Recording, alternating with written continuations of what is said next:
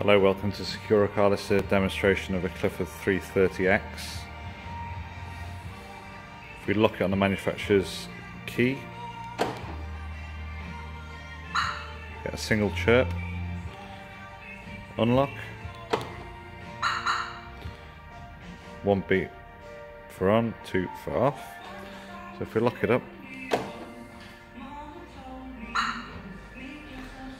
Now this system covers the doors, the bonnet, the boot, uh, ultrasonic sensors inside and also a built-in shock sensor. So if we were to give the vehicle a bit of a nudge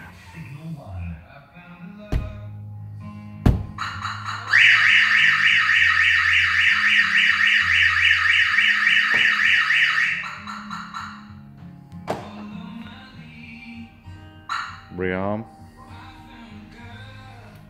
so say it covers all the doors, bonnet and boot, load area.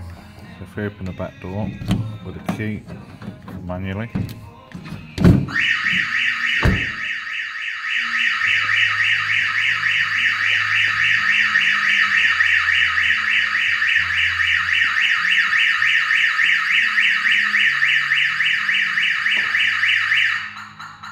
disarm. I'll show you that shock sensor one more time.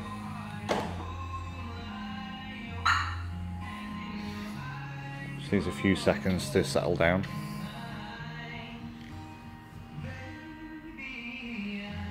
We'll try it a bit further back on the van this time.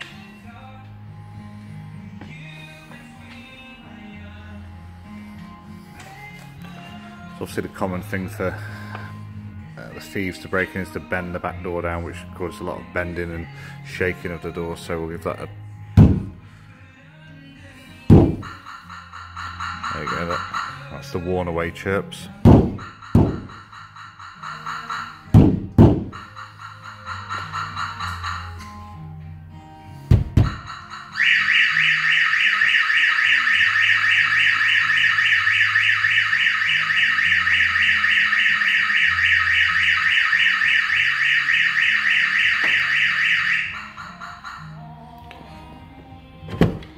you a quick guide inside. So we've got a flashing LED on the dashboard.